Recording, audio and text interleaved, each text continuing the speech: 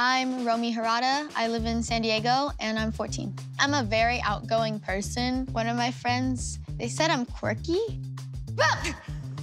I remind them of a Disney princess. I'm a dancer. I've been training at my studio for five years now, and I've been competing for about four years now. Five,